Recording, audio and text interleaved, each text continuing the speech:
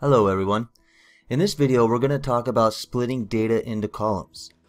Sometimes you get data from somewhere that's not formatted and maybe all the text is only separated by a space but you need each word to go into a separate column. For instance, here we have a, a list of names with last, first, position, and email and they're all kind of squished together and only separated by a space. So we'll copy that text and then we'll go ahead and paste it into the spreadsheet. And what happens is it looks exactly the same. Each line only goes into one cell and we don't want that. So what we need to do is when you paste the text, notice the little clipboard icon in the lower right. You click on that and choose split text into columns.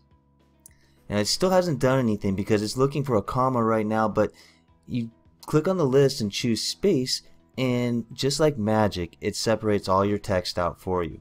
Every spot that had a space is now in a column or the spaces were translated into columns. Now you don't have to use spaces. You might have noticed the first one in the list was a comma. So we'll grab this text which is separated by commas instead of spaces.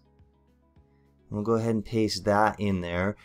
And the same thing happens but as soon as we choose to split the text, it's already got comma there and it already split. Now if we change that to any other thing, we go back to space, it'll put the text like it was because it's looking for spaces. Now we'll go back and choose comma, splits it right out. Everywhere there was a comma becomes a column. And you don't have to use just the things that are in that list, just about any character can be used. So we have another paragraph here where it's separated by asterisks. We'll go ahead and paste that in there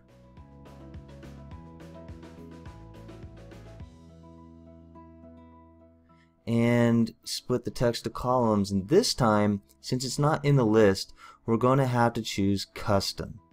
And what custom does is allows us to type in the character we want to use as the the one that splits. So we type in an asterisk and everything splits out just like before.